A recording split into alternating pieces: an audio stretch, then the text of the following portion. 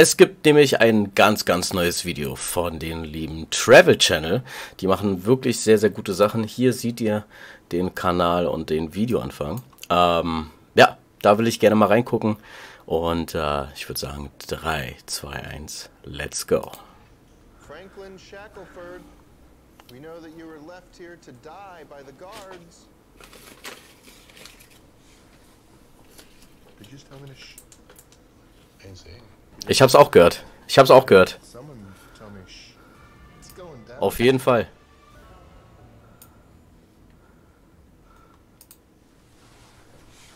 Oh. Habt ihr das gehört? Man hört's auf jeden Fall im Hintergrund. Man hört das definitiv. So ein Sch yeah, it's there. That must have been coming from right here. Yeah, that's what it sounded like. I want to go this way. Jo, jetzt macht sich irgendwas hier noch selbstständig, ey. Feuer mal.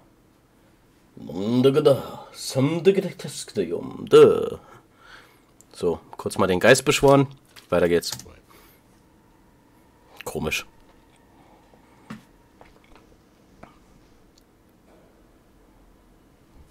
Was war das jetzt?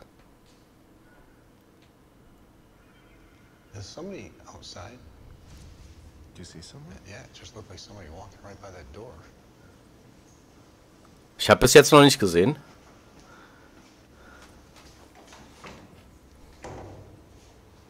Nobody's out there. Nobody's out there. Ah, seid, seid ihr nicht sicher? it looked like somebody walking. Seid ihr nie sicher, ob du alleine bist oder nicht? ah, ah.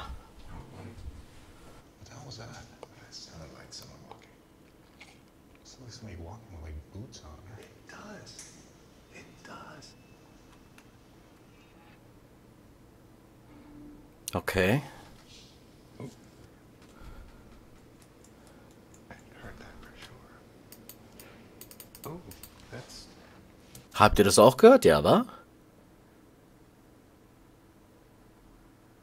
that was in here for sure. Hey, did you just hear that sound? Yeah, it was a definite creak. I just assumed it was you guys.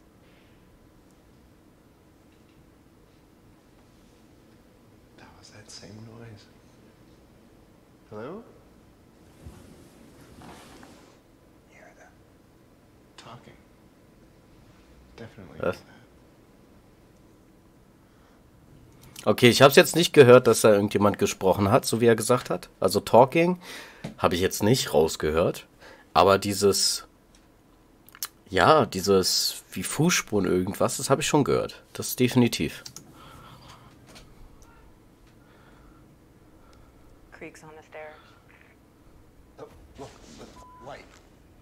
Licht? Was? Blocking. Wow. Was? Where's that coming from? See, there's nothing here. Nothing up there? Yeah, come here. Hey, Hey. Did you happen to see a light on this wall? Yeah. I just assumed it was your guys' flashlights. we thought it was your flashlight. Ach, Charles, ach. Okay, man hat es aber leider nicht so gut gesehen. Also an der Wand soll irgendwie ein Licht gewesen sein. Ja, dadurch, dass die halt diese Nightshot-Kameras benutzen, sieht man es ja auch nicht so extrem. Ähm, ja, kann ich jetzt nicht so viel zu sagen. Ich habe es nicht wirklich gesehen. Für mich sah das aus wie ein Schatten, aber das wird wahrscheinlich nicht das sein, was sie gemeint haben. Ähm, ja, kann, kann, kann ich nicht viel zu sagen. Also, leider. Was war das denn? Warte mal, zurück. Warte. Das hat man, das hat man definitiv gehört. Dieses hm. Das hat man gehört. Definitiv. Really? Hey, hey, sh-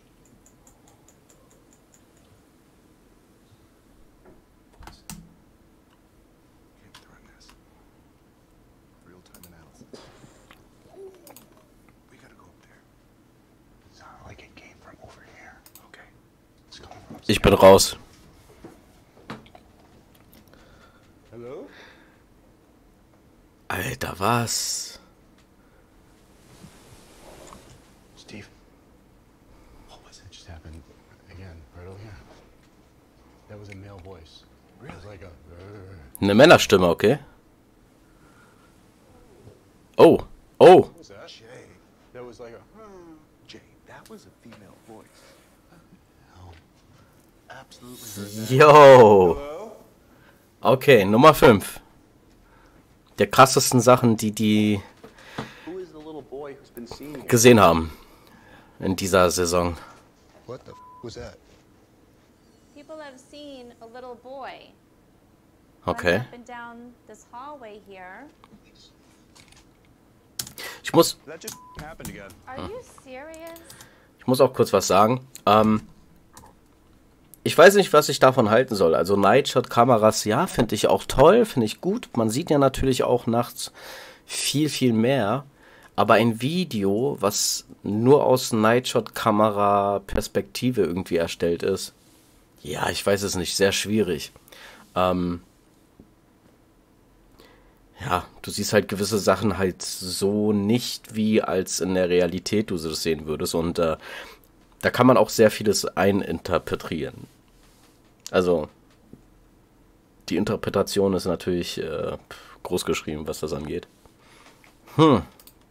Weiß ich nicht, weiß ich nicht.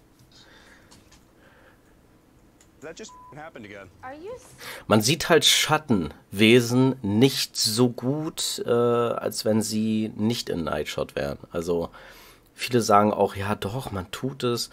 Aber ich kann euch wirklich nur sagen, nein. Also es ist, äh, Nightshot-Kameras sehen in der Nacht viel mehr, das stimmt eigentlich. Aber ähm, wenn du etwas Paranormales siehst, dann müsste das doch schon ein bisschen besser zu sehen sein in einem ganz normalen Shot einer Kamera. Und ich finde es halt auch nicht so interessant irgendwie per Nightshot. Alles grün. Also ich mag es mehr in Farbe.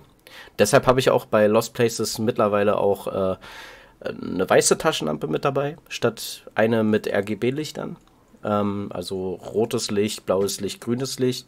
Ich habe öfters das rote Licht benutzt und ja, das ist auch viel besser an Lost Places, die halt an der Straße äh, sind, wo Leute vielleicht auch ähm, ja, euch bemerken können, ähm, dann hat man doch schon besser die rote Taschenlampe dabei, weil das halt nicht so auffällig ist, wie als wenn man mit einem weißen Licht die ganze Zeit rumleuchtet.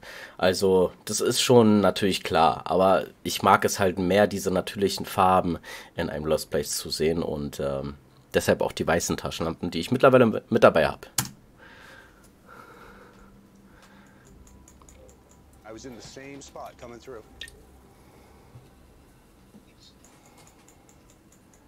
It's there. It's there. What, yeah. Hat er es aufgenommen?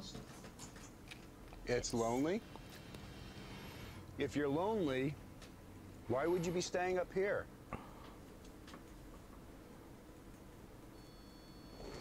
Ja, ja. This goes off. If you're going near the device, Hm. it just made noise. Please do it again for us. Wow, wow, wow. Okay. It constantly sounds like somebody walking behind you. Wow. If that is somebody saying lonely, I hope it's not a child. We know that you might be War auf jeden Fall geil. War auf jeden Fall eine geile Situation, geiler Shot. Und äh, ja, mit so einem Rampod zu arbeiten, ist immer eine ganz, ganz, äh, ganz tolle Sache. Rampods äh, zeigen ja die, ähm, ja, die Nähe eines äh, spirituellen Effekts an. Und ähm, ja, ein Rampod ist tatsächlich noch so eine Sache, die mir fehlt. Ähm, ich habe schon ein bisschen rumgeguckt nach einem Ramport, eventuell mir auch selbst einzubauen. Ähm, ich will mir selbst einbauen.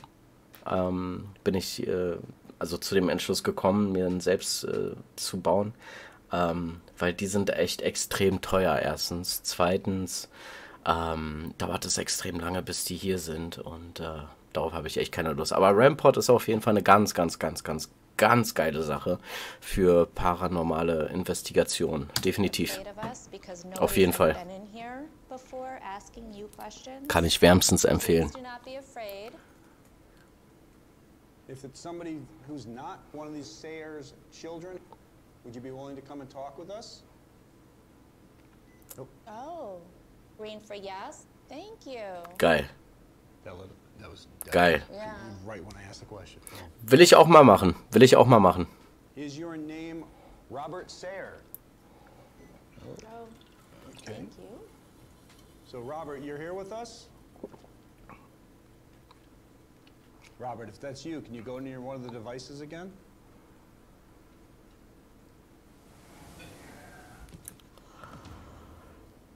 Yo! If I had hair, it would all be standing up right now. Alter, warte mal. Das will ich noch mal hören.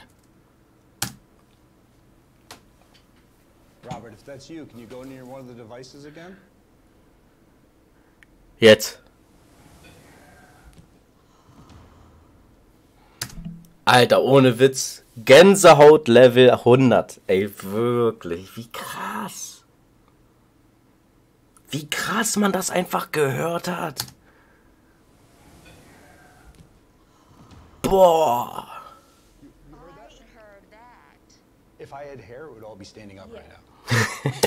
Aber cool, dass er sagt, wenn er Haare hätte, würden die alle stehen. Einfach der Typ mit der Glatze, ey. Ah, Mann, ey. Cooler Typ. Ist auf jeden Fall witzig.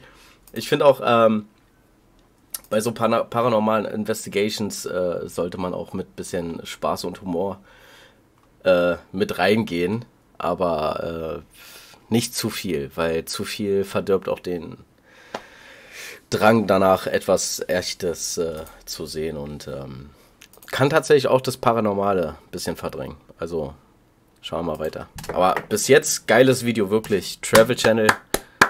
Ey, saugeil, wirklich. Wow. Was there just uh, like the high pitched whistle thing we could do? No, not not in the room here. You didn't hear that?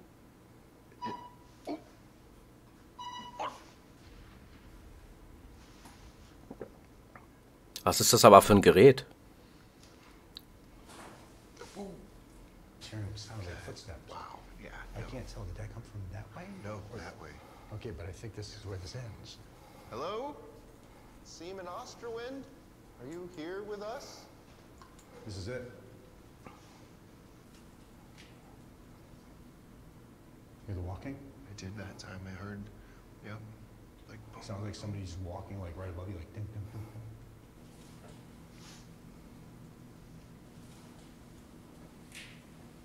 Hello? Goes again. That one sounded high pitched. Steve, put this on. Just listen. You just heard it? I heard. Like a. It's like residual and then intelligent. That tells me that we have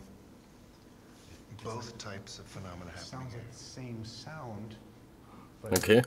Also, ich weiß nicht, was er dafür jetzt benutzt. Ob er da einfach nur ein ähm, Diktiergerät benutzt, welches, welches ich halt auch habe, ähm, und der einfach die Kopfhörer drin hat, dass er das ein bisschen intensiver vielleicht hört, oder ob er ein Device, also ein Gerät benutzt, was ich oh, lange Zeit her hatte, ähm, welches die Töne der Außenwelt, also von, von außen, alles nochmal ein bisschen verstärkt, bisschen erhöht und alles, äh, so dass es halt lauter ähm, rüberkommt.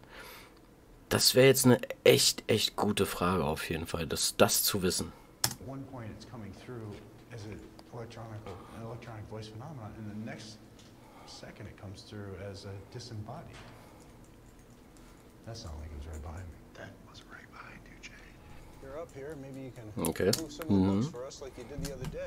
My friends. Now, Jay, we went through and made sure all the books were lined up. So they were already as far in as they could go. Exactly.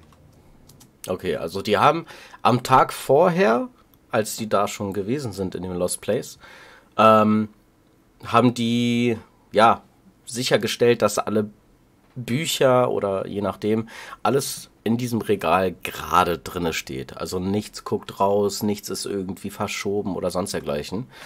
Ähm, wir können uns natürlich jetzt wahrscheinlich denken, was da passiert. Wir schauen mal weiter. Isaac Osterhout. The library was named after you and your wife Elizabeth. Is this library what you envisioned? Is that why you're still here? Auch krass, dass einfach so, ein, so eine Bibliothek komplett alleine und verlassen ist. Krass. Keep on getting shocked every freaking time I move. She was experiencing that up here, that one librarian. It was mostly happening in the section about religion. Steve, the book just Oh. What? Was? That just slid out. No way. Did you see it move? I did when I turned around. It was Jay? it was moving slightly. That's what I was saying. God. Nicht dein Ernst. I heard the sound of like a. Nicht dein Ernst. Was für ein Buch ist das?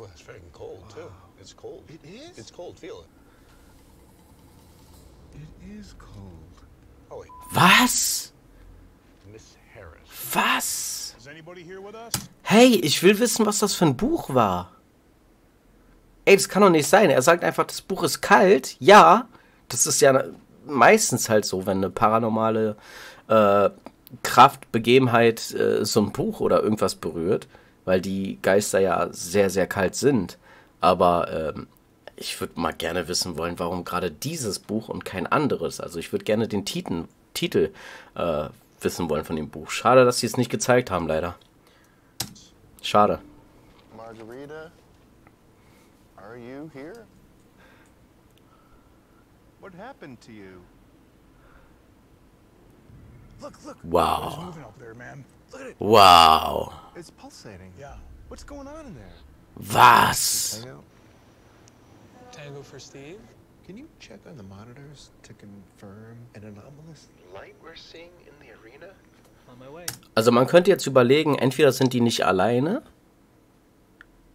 weil es war ja ein Licht, aber das ist halt dieses Ding schon wieder. Es ist eine Nachtsichtkamera.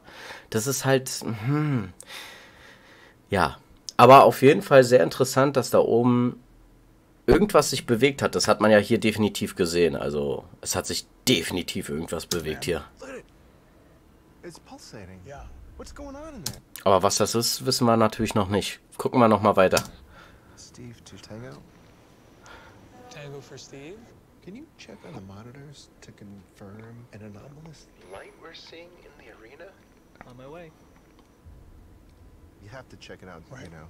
We can't stay down there and just assume it's something paranormal. Absolutely. Tango for Steve? Go for Steve. Oh, weia. Okay, I see you guys walking up the stairs there. Thanks, man. There are some windows up there. I, I see the windows on the top. I'm seeing some light in that room. Can you tell if it's coming from a source or if it's just an illumination? Of some sort. I can't tell. It is pretty distant. The camera, it's more of a glow. I'm gonna go check it out now. Copy that. Yeah, I mean, that's a claim. There, too. They say they can see lights. If it's something paranormal, it would have to be energy, so a glowing ball of light, or an actual ethereal Ja. apparition. Yeah. I don't know. Ja. Krass. I really don't see anything in here that's gonna explain that illumination. There's no outside windows. I don't see any fluctuation. Hmm. If this wasn't a room full of electronics, we could try to get some sensory equipment going, but Yeah, crazy readings. right. Is there anyone here with us? This is wild, man. I, I really don't know how to explain what we saw with the light. Me neither. Okay, krass.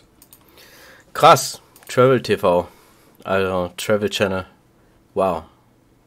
Sau, sau, geiles Video. Also, äh, was soll ich dazu sagen? Seit über einem Jahr abonniert. Ich denke mal, auf jeden Fall zu Recht.